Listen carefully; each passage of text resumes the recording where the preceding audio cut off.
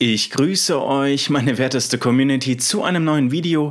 Mal wieder etwas längeres für euch. Ähm, ja, ich freue mich tatsächlich, endlich euch wiederzusehen. Und das war's im Grunde auch schon mit der persönlichen Begrüßung. Wir sehen uns in den Kommentaren. Ich werde wie immer alles beantworten, was ihr schreibt. Und nun wünsche ich euch ganz, ganz viel Spaß mit der Geschichte. Auf eine schlaflose Nacht, ihr Bösewichte.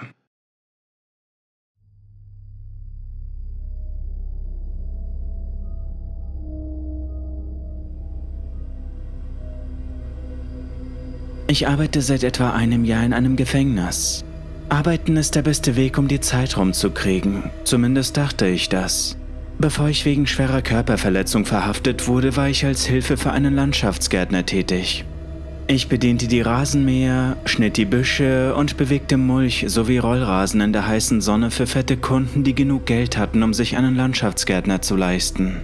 Hätte ich mich nicht in einer Bar geprügelt, hätte ich wahrscheinlich die nächsten 20 Jahre so weitergemacht, bis ich mir schließlich das Hirn weggepustet hätte. Jetzt darf ich das die nächsten fünf Jahre im Gefängnis machen, bis ich auf Bewährung rauskomme, zumindest falls ich so lange leben sollte. Es ist ein großes, altes Gefängnis, das es schon seit den frühen 40ern gibt. Es ist in zwei Abteilungen unterteilt, die äußere und die innere. Die beiden sind durch ein Tor in der Mitte voneinander getrennt und der Verkehr dazwischen wird streng überwacht. Der äußere Bereich ist für die Unterbringung vorgesehen. Hier befinden sich sechs offene Schlafsäle, die wie große Sommercamphütten aussehen. Sie beherbergen etwa 100 Jungs und enthalten eine Reihe von Etagebetten, auf denen sie schlafen können. Dann gibt es noch drei große Betonblockgebäude, in denen die leitenden Angestellte untergebracht sind. Dazwischen befindet sich das Gebäude aus Beton und Stahl, das hinter Stacheldrahtzäunen liegt. Abgesehen von einigen Büros und den Kantinengebäuden, die uns als Quelle für Junkfood dienen, besteht der Rest nur aus Gras, Sand und Betonwegen. Das ist eine Menge Gras, das im Sommer gemäht werden muss und eine Menge Orte, an die der Schnee im Winter geschippt werden kann. Die innere Station, das was hinter dem mittleren Tor liegt, sind die Gebäude, die oft als Baustellen dienen. Der Speisesaal, der medizinische Pavillon, die Klassenzimmer, die Bibliothek und der Besuchsbereich bestehen größtenteils aus Beton und Gehweg und erfordern nicht viel Arbeit. Die sind Orte, die von der Verwaltung frequentiert werden und die man am besten meidet, wenn man es vermeiden kann. Der Großteil unserer Arbeit findet hinter dem mittleren Tor statt. Wir saßen alle auf dem Nordpavillon, tranken Limonade und aßen Snacks, als der für unser Team zuständige Wärter auf uns zukam. Herr Holzmann war einer der besten Wärter, die wir je hatten. Er ist nicht zu streng, aber auch nicht zu faul. Er behandelte uns wirklich fair, was den großen Unterschied für uns ausmachte. Wir nannten ihn immer Holzi. Er sah besorgt aus, als er auf uns zuging, und Dario, einer der anderen Jungs aus der Truppe, stieß mich mit dem Ellbogen an, als er auf uns zukam und schüttelte den Kopf. Yo, Holzi sieht irgendwie unzufrieden aus. Das verheißt nichts Gutes für uns. Hört zu, Leute. Der Aufseher hat sich gerade gemeldet. Er will, dass ihr den Turm noch vor Feierabend ausräumt. Wir stöhnten alle auf. Der Turm war ein bröckelndes Betonungetüm, das in der Mitte der Außenstation stand. Er existierte schon seit den frühen Tagen des Gefängnisses, aber jetzt war er eine verfallene Monstrosität, in der die Wärter kaputte Möbel und alte Schallplatten unterbrachten.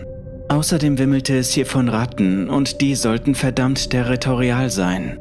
Die Insassen kamen dem Turm nicht zu nahe, wenn sie es vermeiden konnten. Die Ratten kamen heraus und bissen einen in die Knöchel oder jagten einen, wenn man sich dort zu lange aufhielt. Es gab Geschichten darüber, dass sie Menschen töteten und die Leichen zum Fressen wegschleppten, aber das war nur Gerede. Alle paar Monate verteilte ein Kammerjäger Gift im Außenbereich und versprühte scharfe Chemikalien, um sie davon abzuhalten, herauszukommen. Und das war so ziemlich alles, was das Gefängnis tat, um ihren Vormarsch einzudämmen. Niemand wagte es hineinzugehen und alles, was dort gelagert werden musste, wurde vor Sonnenuntergang erledigt. Keiner von uns wollte in den Turm gehen, aber der Befehl war gegeben worden und sich zu weigern wäre ein einfacher Weg gewesen, in den Arrest geschickt zu werden. Wir trafen alle nötigen Vorsichtsmaßnahmen, bevor wir hineingingen. Der Schuppen, in dem wir unsere Sachen aufbewahrten, hatte dicke Gummistiefel, Handschuhe, Ventilatoren und Lederkittel, die wir benutzten, wenn wir dichtes Unkraut zurückhackten oder Gestrüpp rodeten.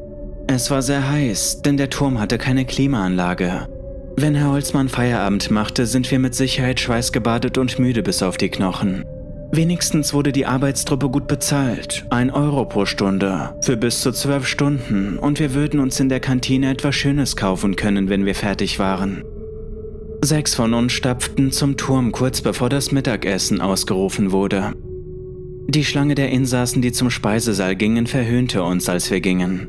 Sie machten dumme Sprüche, als es offensichtlich wurde, wohin wir gingen. Sie machten Witze darüber, dass wir die Ratten füttern würden, aber ich konnte sehen, dass sie auch erleichtert waren. Sie waren erleichtert, dass wir es waren und nicht sie, die in diesen gespenstischen alten Turm gingen. Der Turm hatte in ihren Köpfen einen fast legendären Status und es war besser, dass wir als sie in ihn hineingehen mussten. Bevor wir es merkten, standen wir in seinem Schatten. Der Turm war etwa fünf Stockwerke hoch, ungefähr 50 Meter, er bestand eigentlich nur aus einem Erdgeschoss und einem obersten Deck zur Beobachtung, aber das Innere war eine große leere Fläche. Von oben konnte man wohl das ganze Gelände überblicken, aber ich war noch nie oben gewesen. Als das Gefängnis gegründet wurde, stand hier der Schütze und beobachtete alle Insassen am Boden auf Anzeichen von Ärger. Jetzt war es nur noch ein Relikt, etwas, das an die gute alte Zeit erinnerte und ein Zuhause für die vielen Ratten war, die dort lebten. Als wir eintraten, war die Dunkelheit schwer und bedrückend, während die Sonne darum kämpfte, ihren Weg durch die staubigen Fenster zu finden.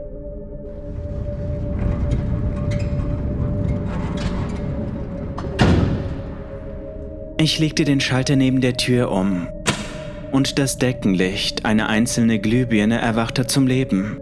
Sie leuchtete eine halbe Sekunde lang, bevor sie in einem Schauer aus Funken und Glas explodierte. Der Raum war wieder in Dunkelheit getaucht und das Licht, das durch die Tür kam, schien in der bedrohlichen Finsternis unerwünscht zu sein. Wir konnten bereits hören, wie sich Dinge in dem Miasma aus zerbrochenem Gerümpel bewegten. Das Geklapper vieler Münder war ein wenig nervtötend und wir begannen das Zeug, das der Tür am nächsten war, nach draußen zu schleppen, während Herr Holzmann einige Stehlampen holte. Es waren hauptsächlich Schreibtische und schwere Möbel, die noch nicht auseinandergefallen waren. Als wir sie wegräumten, konnte ich bereits die brütende Hitze spüren. Die Möbel begannen sich draußen zu stapeln, und als die Mittagsgäste in ihre Schlafsäle zurückkehrten, waren wir alle schweißgebadet und hüpften auf dem Rasen. Auch Herr Holzmann sah nicht gerade bequem aus. Sein Uniformhemd klebte an ihm und er versuchte die Schweißflecken unter seinen Armen nicht sichtbar werden zu lassen. Als die Lichter endlich transportiert wurden, kam auch ein Traktor mit einem Anhänger. Die Schreibtische wurden abtransportiert, damit man sie in die Verbrennungsanlage schieben konnte. Einige der Tische schienen in Ordnung zu sein, aber die meisten waren ruiniert. Sie waren zerbrochen, einige waren an den Beinen gespalten und andere waren durch den jahrelangen Gebrauch verbogen und durchgesagt. Es war klar, dass einige in viel besserem Zustand gewesen waren, bevor sie in den Turm gekommen waren. Die Beine abgekaut und die Oberseiten mit Urin und Kot bedeckt.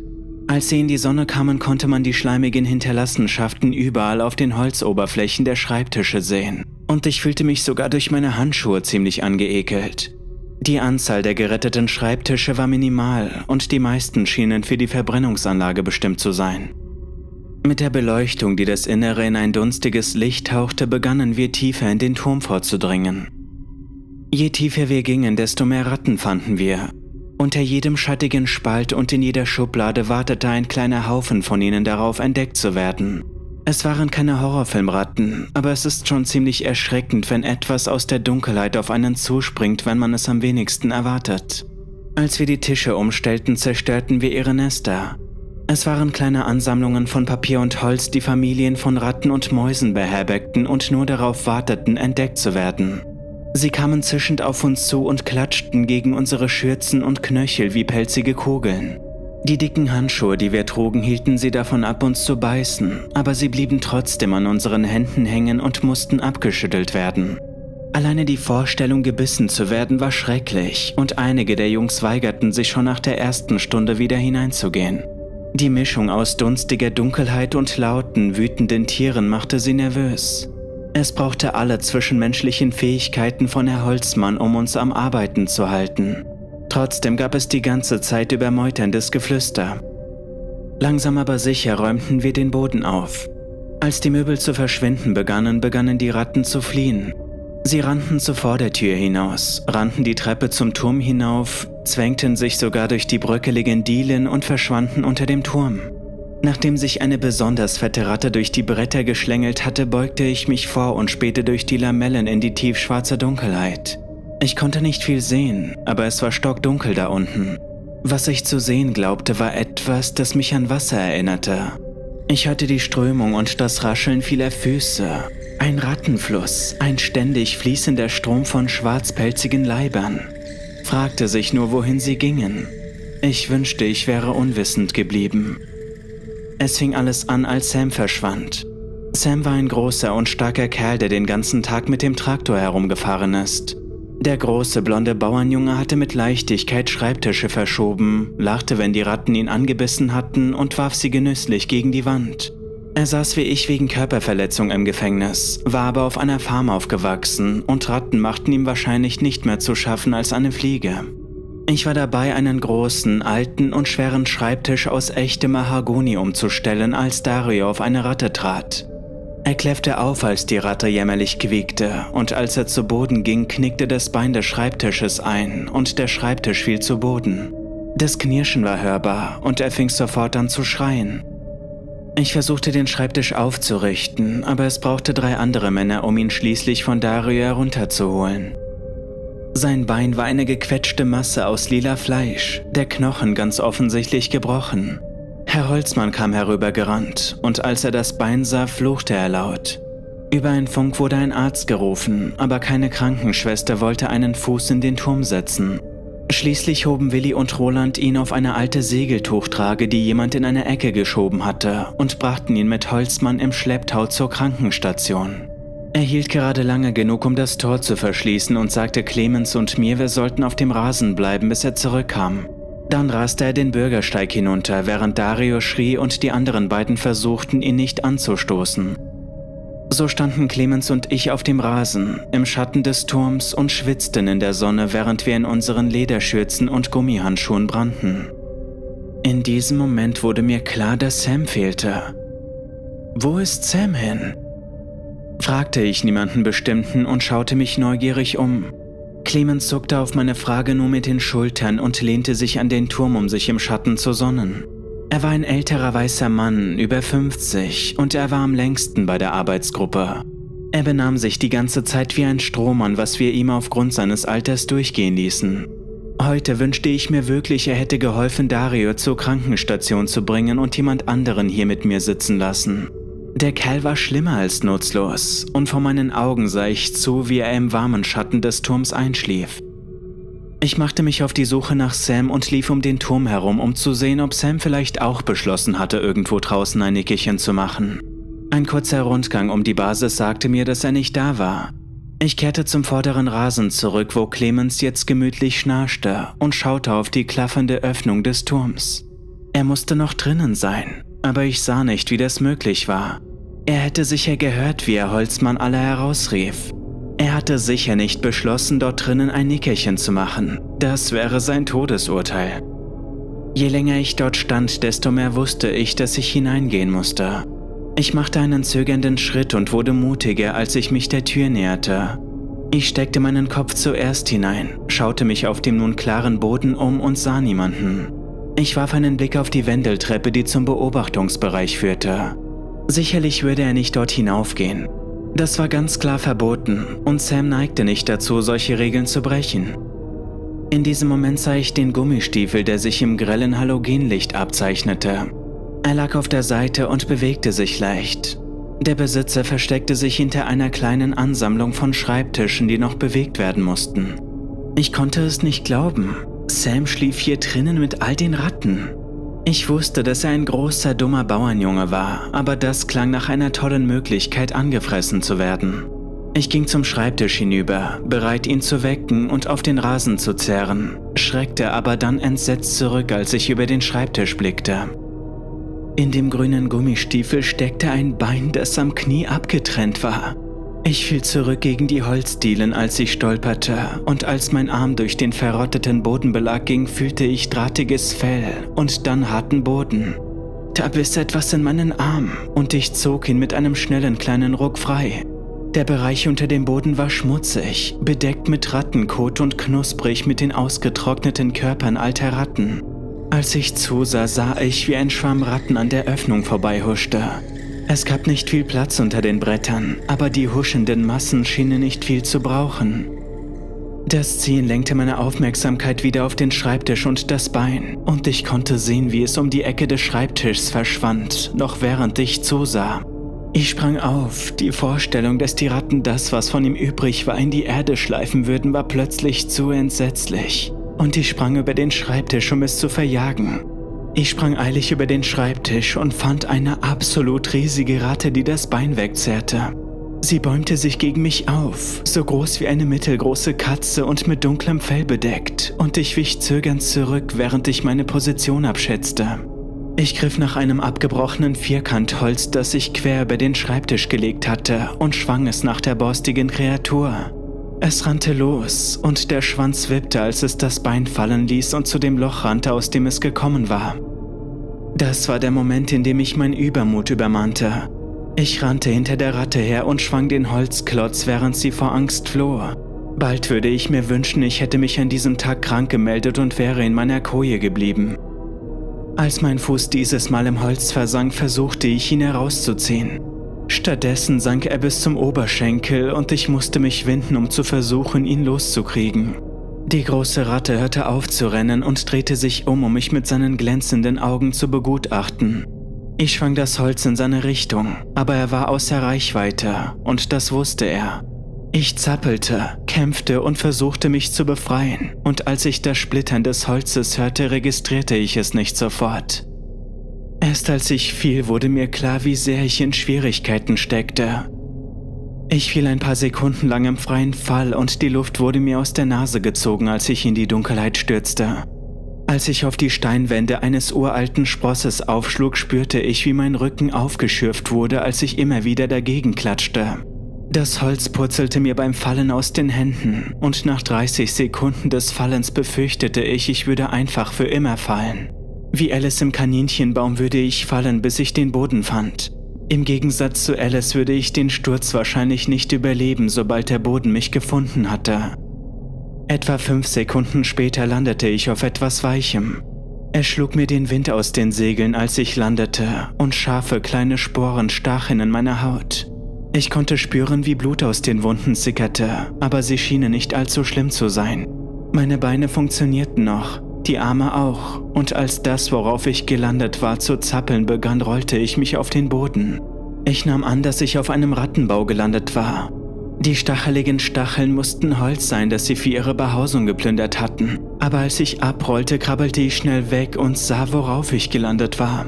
Das Licht von oben fiel auf eine riesige Ratte, so lang wie ein Sofa und genauso groß, die keuchend ihre letzten Momente aushauchte. Ich hatte ihr die Knochen gebrochen, als ich auf ihr landete, und ihr schwarzgraues Fell war von Knochenspornen durchsetzt, die sich bei meiner Landung gelöst hatten. Sein einziges gelbes Auge rollte zu meinem und ich konnte seine tiefe Verwirrung sehen, als es seine letzten röchelnden Atemzüge tat. Ich machte einen wackeligen Schritt zurück, immer noch wie gebannt von seinem starrenden Auge, als ich das Gestrapel vieler Füße auf dem Steinboden hörte. Ich wandte mich dem nächstgelegenen Tunnel zu und rannte, da ich nicht sehen wollte, welche anderen Schrecken hier unten lebten. Ich rannte mehr oder weniger wahllos durch die Dunkelheit. Die Tunnel waren pechschwarz, als ich das Licht aus dem ersten Raum hinter mir ließ, aber ich hatte ein kleines Feuerzeug, das ich benutzte, um meinen Weg zu sehen. Es hatte den Sturz irgendwie überlebt und ich hielt meine Hand davor, während ich rannte, um es nicht auszulöschen. Die Tunnel schlängelten und bogen sich, während ich rannte, und ich brachte mich tiefer in die lichtlose Welt der Ratten. Während ich rannte, wurde ich auf ein seltsames schabendes Geräusch vor mir aufmerksam. Es klang wie hunderte von Krallen, die über den Stein kratzen, und ich wusste sofort, dass ich nicht sehen wollte, was dieses Geräusch verursachte. Der Tunnel ließ mir jedoch nur wenige Möglichkeiten und ich wusste, was hinter mir lag, wenn ich umkehrte. Das Geräusch wurde lauter, als ich mich näherte. Langsam und vorsichtig ging ich darauf zu. Der Boden wurde rutschig, je weiter ich ging, und meine Füße kratzten, als sie auf etwas Brüchiges stießen, das im Tunnel verstreut war. Ein Blick mit meinem Feuerzeug offenbarte kleine Tierknochen, wahrscheinlich Ratten, und einige der Schädel waren groß genug, um von großen Hunden zu stammen. Was es mit der plötzlichen Nässe auf sich hatte, konnte ich nicht sagen, aber der schreckliche Geruch, der sie begleitete, veranlasste mich, nicht genau nachzuforschen. Einen Moment später kam ich aus dem Tunnel heraus in eine aufragende Höhle und fand die Quelle des Schabens. Das Feuerzeug fiel mir aus den gefühllosen Fingern, aber ich hatte in der flackernden Beleuchtung alles gesehen, was ich sehen musste. Ich hockte mich hin, die Hand krabbelnd, und hoffte inständig, dass das, was auch immer es war, mich nicht gesehen hatte, wobei dieses Ding mich definitiv sah. Ich konnte seine Tausenden von Augen sehen, die mich in der Dunkelheit anstarrten, und ihr Hass reichte aus, um mich in meinen Bahnen erstarren zu lassen. Der Leviathan verachtete mich, er verachtete den Eindringling in seinem Reich. Während ich nach dem Feuerzeug suchte, konnte ich hören, wie es auf tausend Beinen zu mir krabbelte, während es seine Masse über den Boden bewegte. Als ich klein war, hatte ich einen Onkel, der Kammerjäger gewesen war. Eines Abends, als er auf meinen Bruder und mich aufpasste, erzählte er uns eine Geschichte über etwas, das sich der Rattenkönig nannte. Nicht irgendeine zimperliche Maus mit einer Krone, wie wir sie im Weihnachtsstück gesehen hatten. Es handelte sich um eine Gruppe von Ratten, deren Schwänze sich so hoffnungslos verheddert haben, dass sie einander nicht mehr entkommen können. Es sei denn, sie beißen sich die eigenen Schwänze ab. Er hatte von Dutzenden, vielleicht sogar von 30 Ratten gesprochen, die in einer sich windenden Masse aneinandergereiht waren. Er hatte uns von einer Ansammlung von Kreaturen erzählt, die zu einer einzigen Kreatur geworden waren und als symbiotische Masse lebten. Ich erinnere mich, dass mein Bruder und ich in Ehrfurcht vor einer solchen Kreatur saßen. Als ich das Feuerzeug wieder fand und entzündete, sah ich die Masse der Ratten. Sie waren hunderttausend stark und viele hatten die Größe von Mastiffs mit Schwänzen wie Seilwindungen. Der eine in der Mitte aber war absolut massiv. Er stand in ihrem Zentrum, Augen wie Scheinwerfer, groß wie ein kleiner Elefant, und sein fauchender Schrei jagte mir einen Schauer über den Rücken. Er stand in ihrer Mitte, ihre Schwänze waren um ihn gewickelt, und trotz seiner Größe wurde mir klar, dass er zu massiv war, um sich ohne ihre kollektive Beinarbeit zu bewegen. Sie wichen von meiner Flamme zurück, ihre sensiblen Augen waren geblendet von dem plötzlichen Eindringen, und ihre Schreie waren genug, um einen in den Wahnsinn zu treiben. Als sie flohen und sich auf ihren Tausenden von Beinen rückwärts bewegten, erhaschte ich einen Blick auf einen weiteren Tunnel, der sich hinter ihnen herausschlängelte. Ich wusste nicht, ob dieser Tunnel in die Freiheit oder zu einem noch schlimmeren Schicksal führte, aber das war mir in diesem Moment egal. Als die riesige Ratte rückwärts taumelte, sprintete ich auf den Tunnel zu und schaute nicht zurück, während ich durch die Schwärze rannte. Ich war immer noch am Laufen, als ich das Tageslicht vor mir sah. Ich rannte schon seit gefühlten Stunden ohne Pause, und als meine Augen die Rückkehr einer Art von Licht registrierten, rannte ich einfach weiter. Die Luft wurde weniger drückend, meine Augen gewöhnten sich an die Rückkehr des Lichts und ich hielt plötzlich an, als mich der späte Nachmittag aus dem Eingang einer kleinen Höhle grüßte. Ich bewegte mich vorsichtig hinaus und es war gut, dass ich das tat. Bald blickte ich über einen Abgrund, der in die alte Kiesgrube hinabschaute, die das Gefängnis einst betrieben hatte. Ich musste einen Kilometer oder mehr außerhalb des Zauns sein, zerschrammt, blutig und knochenmüde. Ich erwog dort bis zum Morgen zu schlafen. Ein Blick zurück ließ mich eines Besseren belehren. Ich kletterte auf die Spitze der Grube, was keine leichte Aufgabe war, und ging zurück zum Zaun. Ein Postfahrzeug hielt mich an. Ein alter Wärter richtete seine Waffe auf mich, als ich versuchte zu erklären, was mir passiert war. Er fesselte meine Hände mit einem Reißverschluss, legte mich auf die Ladefläche seines Lastwagens und fuhr mich zurück zum Eingangstor des Gefängnisses. Als ich von ein paar unglücklichen Beamten herausgezogen wurde, führten sie mich direkt zum Sicherheitsgebäude und sagten, jemand wolle mit mir sprechen. Ich hatte erwartet, dass ich bestraft werden würde, dass ich wegen Flucht angeklagt werden würde, dass ich in eine andere Einrichtung verlegt oder in den Arrest geschickt werden würde. Ich hätte nie erwartet, dass man mich in das Büro des Aufsehers bringen würde. Es war weit nach Einbruch der Dunkelheit, als sie mich hinsetzten, aber der Aufseher sah wie immer prächtig aus in seinem Nadelstreifenanzug und der kleinen goldumrandeten Brille. Die Wache nahmen mir die Fesseln ab, als sie mich hinsetzten und ließen mich dann einfach mit ihm allein. Er schob mir eine Tasse mit etwas Heißem hin und ich trank den Kaffee genüsslich. Er schmeckte himmlisch nach der Wanderung durch die Kälte und er ließ mich die Tasse zur Hälfte austrinken, bevor er sprach. Der Aufseher war einer der merkwürdigeren Charaktere im Gefängnis. Er war schon so lange der Aufseher, wie sich jemand erinnern konnte. Er hatte eine geheimnisvolle Art an sich, die den Insassen Unbehagen bereitete. Kein Insasse wollte mit ihm sprechen, nicht einmal die Neuen, und er war in seiner ganzen Zeit in der Abteilung noch nie angegriffen oder belästigt worden. Wie ich höre, hatten Sie einen ziemlich anstrengenden Tag, sagte er und lächelte. Ich nickte und nippte an meinem Kaffee. Also, wie kam es, dass Sie außerhalb des Zauns waren? Ich erzählte ihm von meinem Sturz durch den Boden des Turms, wie ich die Ratten in den Tunneln gesehen hatte und wie ich durch die Tunnel gerannt war, um ihnen zu entkommen. Ich spürte, wie meine Hände zitterten, als ich es ihm erzählte, und ich hatte Angst, dass ich den Kaffee auf seinem Büroteppich verschütten könnte. Während ich sprach, beugte er sich vor und starrte mich über den Rand der kleinen Goldbrille an. Er war interessiert, sehr interessiert, und als ich den Teil über den Rattenkönig überflog, lehnte er sich zurück und schien enttäuscht zu sein. Ich könnte dir fünf Jahre extra geben, weil du geflohen bist, weißt du? Zusätzliche fünf Jahre können einem Mann im Inneren wie ein ganzes Leben vorkommen. Ich sah, wie ein Tropfen des Kaffees auf den Teppich fiel und versuchte, meine Hände zu beruhigen. Ich werde dir das ersparen, wenn du mir eine Frage beantwortest. Eine Frage und du darfst in deinen Schlafsaal zurückkehren und den Rest deiner Strafe in Ruhe absitzen.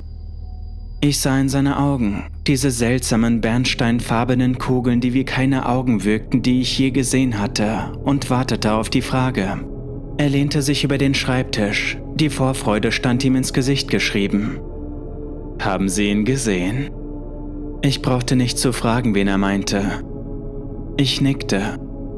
Er lächelte und sein Haifischgrinsen war beunruhigender, als es die Riesenratte je gewesen war. Sie brachten mich zurück in meinen Schlafsaal und ich ließ mich wortlos auf meine Koje fallen. Meine Arbeitskollegen versuchten meine Aufmerksamkeit zu erlangen, wollten wissen, wo ich gewesen war, wollten wissen, was mit Sam passiert war, aber ich lag einfach da und tat so, als würde ich schlafen. Ich wollte mit niemandem reden, wollte niemandem etwas sagen. Ich wollte nur versuchen, diese Schrecken zu vergessen, die ich unter der Erde gesehen hatte. Ich habe das am nächsten Tag geschrieben und werde versuchen, es zu meinen Leuten draußen zu bringen. Sams Habseligkeiten wurden weggebracht. Sein Name taucht in keinem der Einsatzpläne mehr auf. Es ist so, als hätte er nie existiert. Was wäre, wenn ich auch nicht zurückgekommen wäre? Wäre ich dann einfach ein weiterer Insasse, der nie existiert hat? Während ich hier sitze und dies aufschreibe, könnte ich schwören, dass eine Maus auf der Fensterbank sitzt und mich beobachtet. Sie steht einfach da. Der Regen perlt auf ihren Schnurhaaren, während sie mich durch das trübe Glas des Tagesraumfensters anstarrt. Zu diesem Zeitpunkt weiß ich nicht, wovor ich mehr Angst habe. Ich weiß nicht, welche Tatsache mich mit mehr Furcht erfüllt. Ich habe die Wachen gesehen, die mich beobachten. Ich habe die Augen gesehen, die mich beobachten, wenn das Licht aus ist. Ich habe gesehen, wie die Augen der Schlafsaalbeamten mich oft verfolgen, wenn sie denken, dass ich nicht hinschaue. Ich habe die pelzigen Gestalten gesehen, die vor dem Glas stehen, wenn sie denken, dass ich nicht aufpasse. Ich weiß nicht, woher ich mir sicher bin, dass mein Tod kommen wird. Deshalb kann ich euch nur sagen, seid vorsichtig, denn der Rattenkönig existiert. Solltet ihr jemals diesem begegnen, dann betet, dass ihr schnell genug seid, um zu entkommen.